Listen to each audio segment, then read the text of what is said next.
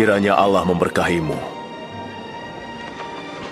Kepadaku telah diberikan segala kuasa di surga dan di bumi. Karena itu pergilah, jadikanlah semua bangsa muridku. Permandikanlah mereka dalam nama Bapa, Anak, dan Ruh Allah. Ajarlah mereka melakukan segala sesuatu yang telah kuperintahkan kepadamu. Dan ingatlah, aku menyertai kamu senantiasa, sampai kesudahan zaman. Amen.